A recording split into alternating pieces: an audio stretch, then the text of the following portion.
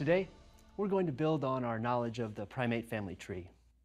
Already, we've gained insight into the human origins by looking at the field of primatology. But in this lecture, we're going to turn to paleoanthropology to trace our earliest human ancestors through to modern Homo sapiens. And like primatology, paleoanthropology will give us some great perspective as we explore answers to our foundational anthropology question Who are we? Where do we come from? We're going to be talking about a story that it's about 7 million years old. So let's first grab a little perspective because it's kind of hard to grasp timelines that include millions of years, right? So let's use a straightforward metaphor to get some perspective on the origins of humanity. Think of a clock, right? Not a 12 hour clock, but a 24 hour clock. And if we take the entire past 4.5 billion years since the earth was created, and if we jammed all those years into a single 24 hour day, what time do you think humans would emerge? When should our human history start?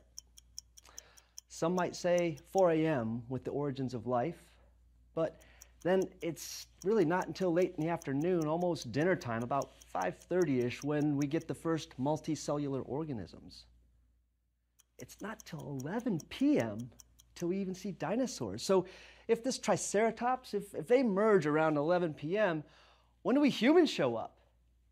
Well, you'll be surprised to hear it's at 11:58 and 43 seconds. And again, that's p.m. Just about a minute and change before midnight.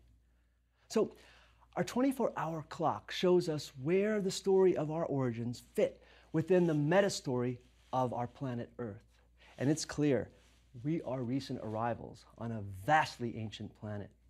And when I reflect on the magnitude of the ecological, the cultural, and the biological inheritance that each and every one of us is born into, the human story, and our place in the universe, well, they become all the more magnificent and perhaps, depending on your worldview, even a little magical. So let's recap our timing here. As humans, we are earthlings, and the earth is 4.5 billion years old. So, in some ways, our story could begin there.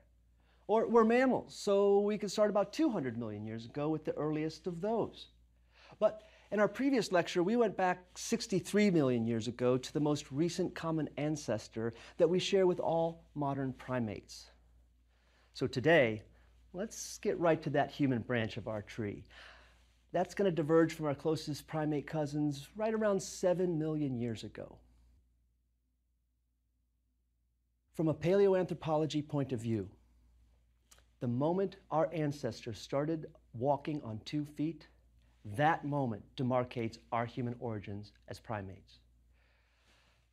Paleoanthropologists are the human origin specialists in the anthropology family.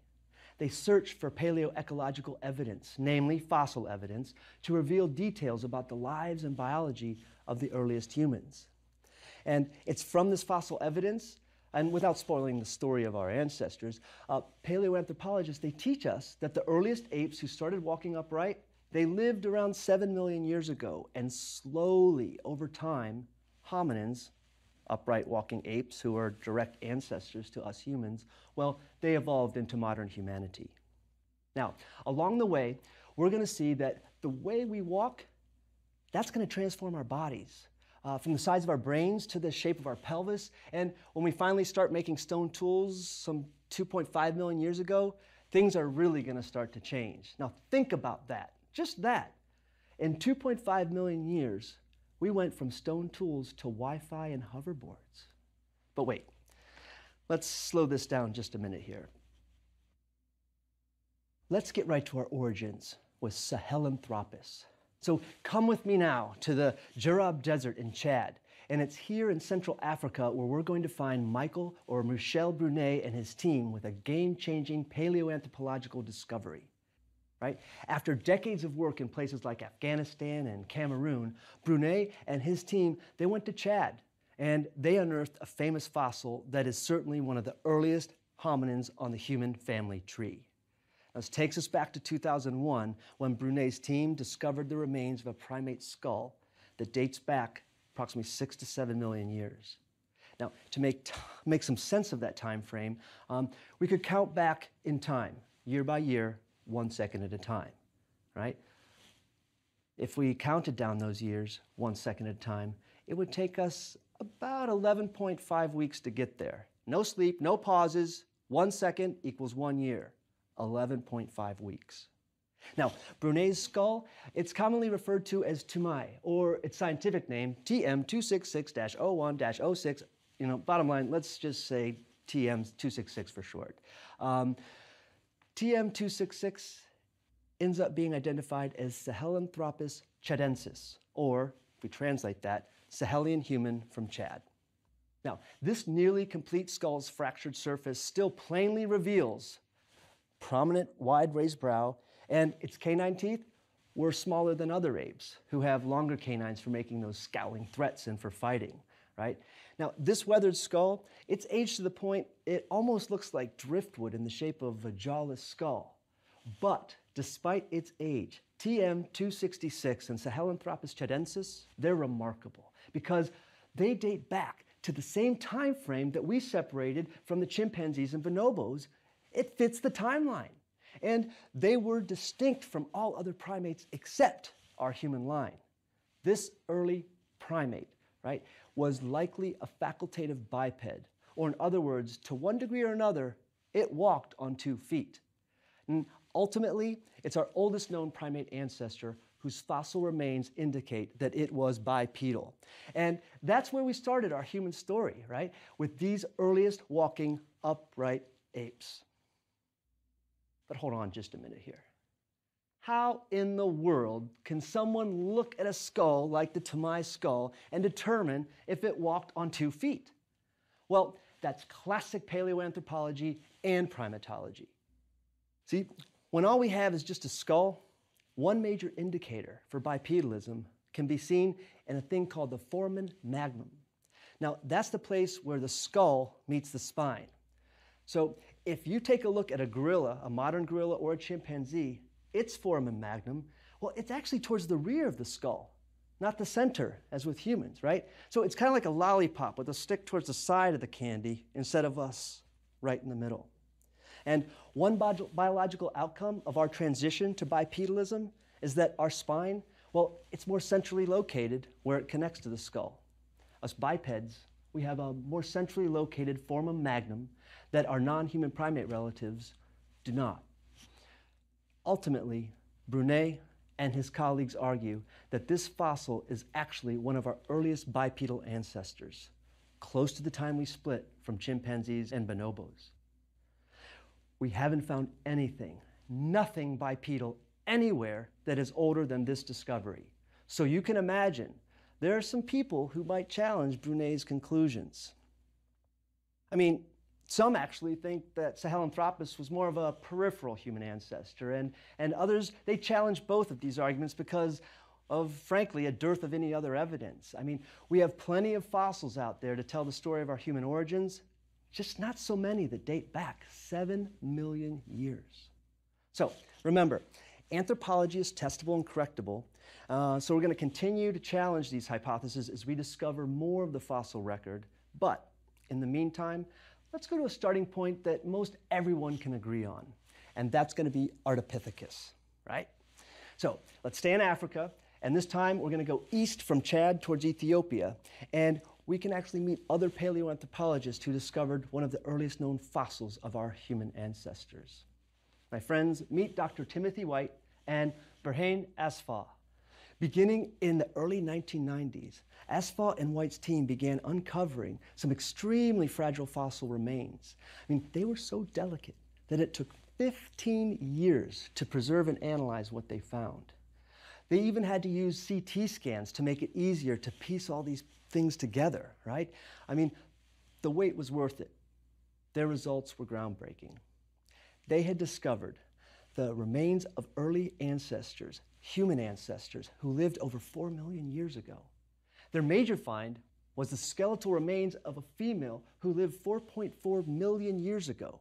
She was bipedal, uh, but she could get around in the trees as well. I mean, scientists, they, dis- they dubbed this new discovery Ardipithecus ramidus, uh, which in the local Afar language, um, Ardi is ground, um, and, and Ramid, that means root. So really what we're talking about is ground ape root, right? The ground ape root.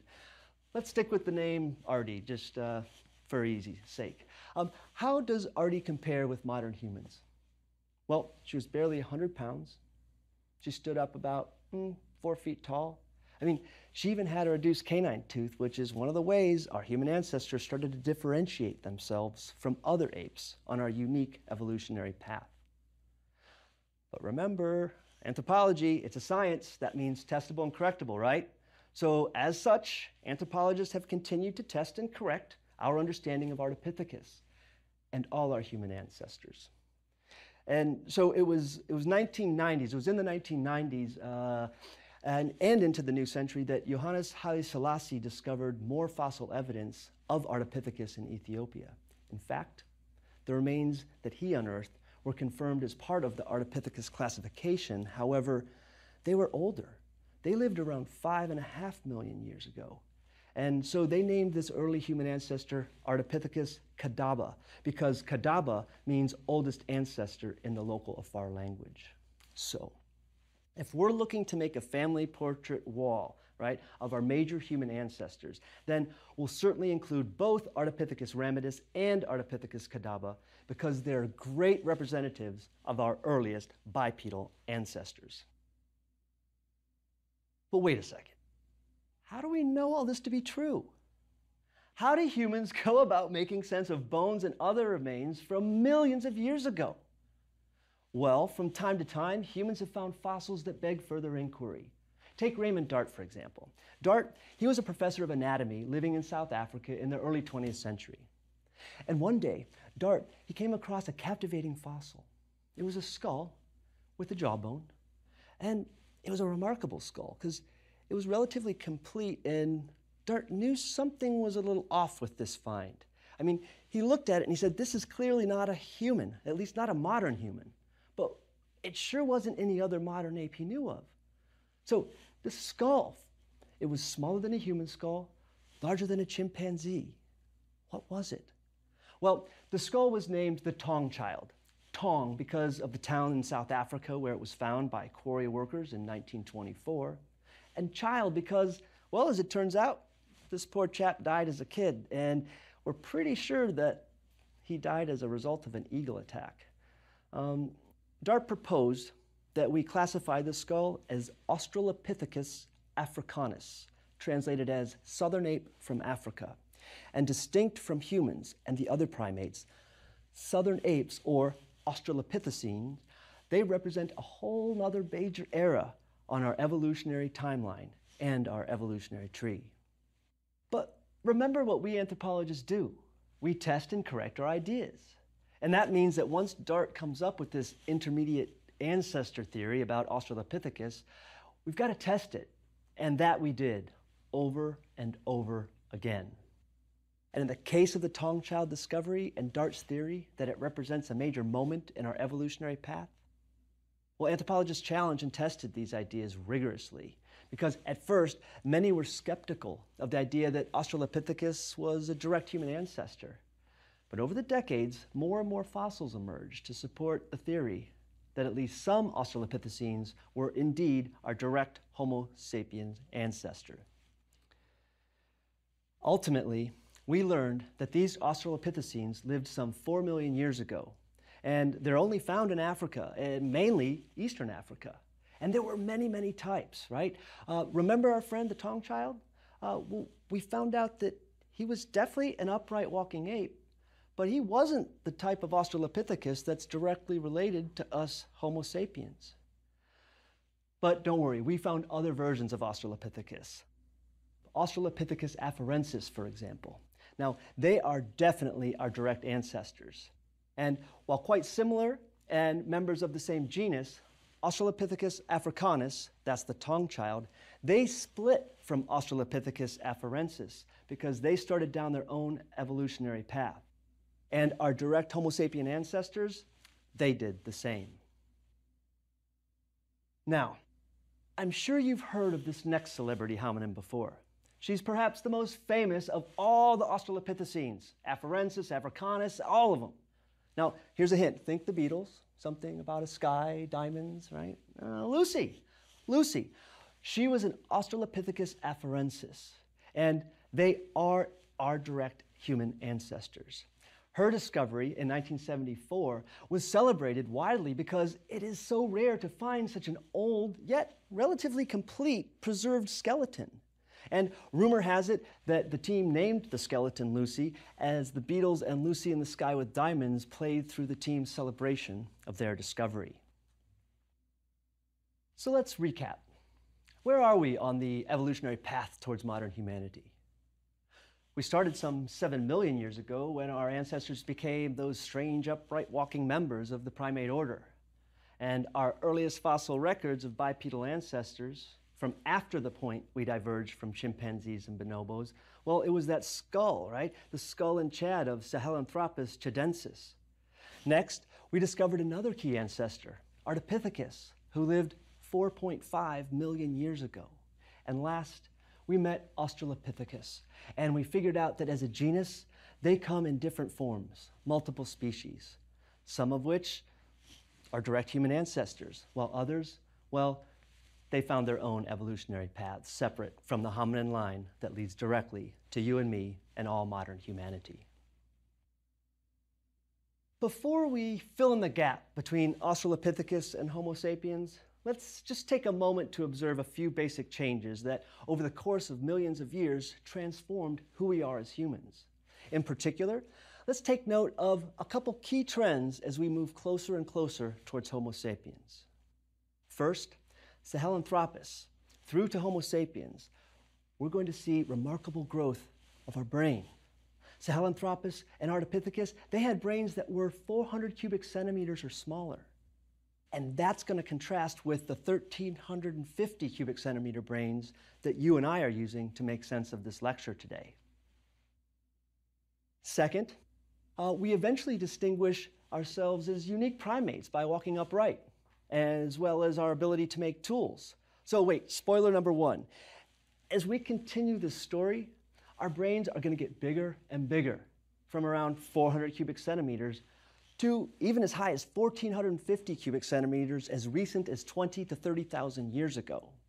And spoiler alert, too, our tools and our tool making, they're just going to get better and better the closer we get to Homo sapiens. Just as Raymond Dart analyzed that Taungchild fossil and concluded it did not fit any existing classification, the same thing happened to the famous paleoanthropologist Mary and Louis Leakey. In the early 1960s, before we found Lucy, but well after we had established an extensive fossil record of Australopithecus, the Leakeys, they found the remains of an early human that, well, caught their attention. It wasn't a modern human, but it wasn't an Australopithecus either. It was somewhere in between the two right? Its brain and body was a little larger, they were a little larger, and it, it lived a little more recently than our Australopithecus ancestors. And for these and other reasons, those Leakeys, they did what Dart did almost a half a century earlier. They created a new intermediary classification, one that clarifies our path from Sahelanthropus to Homo sapien. Additional discoveries throughout East Africa affirmed the status of this newly revealed ancestor. Homo habilis, translated, handy human. So, as we done at each phase of our human origin story, let's add Homo habilis to our hominin family tree. And since the Leakeys first theorized about Homo habilis, many more fossils have been found. But they are all found in Africa, right? So that means it's apparent that our early ancestors they were all still exclusively living in Africa. Our knowledge of Homo habilis, it's clear. We know they lived in Africa about two and a half million years ago, that their brain size, now note the number, it had grown to around 750 cubic centimeters. Now, remarkably, we find Homo habilis remains with very crude stone tools, something we had yet to find with any other ancestor, including Ardipithecus. So, more recently, a new generation of leaky paleoanthropology has taken root. And in 2012, Maeve Leakey, the daughter-in-law of Louis and Mary Leakey, well, she discovered fossil remains in Eastern Africa, and she argues that the fossils, quote, confirm the presence of two contemporary species of early humans. Now, what she's arguing here is that we may need to break down the Homo habilis category into two subcategories. Others, like Timothy White, who discovered Ardipithecus ramidus, if you'll remember, uh, they disagree because he believes that the fossil record does not yet warrant the creation of a completely new branch of the human family tree. You know, for the rest of us, we can review the evidence as new fossils emerge to help us finish this story. But for now, I want you to see that despite our neat and tidy review of these six major human ancestors, the actual path from one to the next, well, it's far more complicated than our abbreviated history may make it seem. The next ancestor that we'll add to our timeline and family tree is Homo erectus. Uh, the first known Homo erectus discovery was actually found in 1891 by a Dutch surgeon, uh, Eugene Dubois, who clearly saw it wasn't human like you and me. So, like Dart and the Leakeys, Dubois created a whole new classification for his ape like skull discovery. He called it Pithecanthropus erectus, ape who stands erect. And later fossils, they filled in the gap of our knowledge, and eventually, paleoanthropologists modified the name of this ancestor to Homo erectus. Now, to get to the first Homo erectus populations, we're going just under 2 million years ago, not, not too long since the emergence of Homo habilis. And nonetheless, we can see why paleoanthropologists established yet another classification for our human family ancestors. These Homo erectus folks, they were different, man. First, their cranial capacity, it could exceed 1,000 cubic centimeters. And remember, we started around 400 some. This is clearly a major leap beyond Homo habilis. Second, the timeline for Erectus is much closer yet to our Homo sapien origins, less than 2 million years ago. Third, these ancestors, they had quite an amazing toolkit compared with everyone who came before them. So rather than like basic Oldowan choppers that Homo erectus were making, more the sophisticated tools were getting sharper and more specialized for the hunter-gatherer lifestyle. The evolution of tools, however, is actually getting us into archaeology, so we'll return to these tools in a future lecture. Uh, and quite significantly, back to Homo erectus, for the first time since we started this history, we can find Homo erectus or hominins outside of Africa. Some scientists, they separate the Homo erectus populations into three distinct groups based on their geographic distribution. Like there's Homo ergaster from Africa, Homo erectus in Asia, Homo heidelbergensis from Europe. And well, as we move forward, let's just remember two major lessons from Homo erectus and their phase of the human story. First, until Homo erectus, we do not see any human relatives outside of Africa, period. We don't have any compelling toolkits either. But Homo erectus changes all of that. Essentially, they're the ones that pave the way for our next and final group in our lineage. And it might sound familiar Homo sapiens. So, my dear friends, here we are. After millions of years of evolution, we find ourselves on the verge of Homo sapiens, right? The timeline sure has sped up, if you've noticed. And think about where we've been. 63 million years ago, right, we're sharing all our ancestors with modern primates. Starting around 7 million years ago, Sahelanthropus emerged, but later died out by the time Ardi comes around. Then Ardi shows up 5.5 million years ago, but they also faded away after just a couple million years. I mean, it was approximately 4 million years ago that Australopithecus roamed the earth, but again, like all previous ancestors, they only lived in Africa. But around 2.5 million years ago, Homo habilis came forth and they worked out how to make some basic tools. And they too faded out, but some 2 million years ago, finally, living alongside Homo habilis for a while, Homo erectus rears his head around 1.9 million years ago and then goes extinct, well, as recently as 150,000 years ago. So that's our pre-story. Somewhere out of that Homo erectus population, we emerge as Homo sapiens 1.0, or Homo sapiens archaic. We understand our Homo sapien roots by dividing that phase of our history into two parts, the archaic and the modern periods. Now, the archaic form of Homo sapiens, they first came into our fossil record well, when our friends the Leakeys found some Homo sapien remains dated to about 100,000 years ago. But that was, a, that was 1967, and more contemporary teams, they've revisited those same exact fossils and the site. And with their more modern technologies, they dated these early Homo sapiens to actually more like 190,000 years ago. So the most celebrated fossils from these Homo sapien line, the archaic version, are what we call the Omo skulls. And they definitely are our oldest known Homo sapien fossils, at least for now. As of yet, we've only found early Homo sapien fossils in eastern Africa, leading us to believe that modern humans are likely rooted to a population of Homo sapiens who lived in Africa before spreading out to other continents. And we'll look at this migration closely in our next lecture. But for now, let's wrap our overview of the story of human evolution by looking at modern Homo sapiens and how we differ from our early ancestors. There are four major takeaways from the transition of our ancestors from early hominin to Homo sapiens. First, brain capacity. It expanded to 1,450 cubic centimeters, though we started at less than 400. And in the past 30,000 years, our brains have actually gotten a little smaller. These days, the average adult male cranial capacity is around 1,350 cubic centimeters.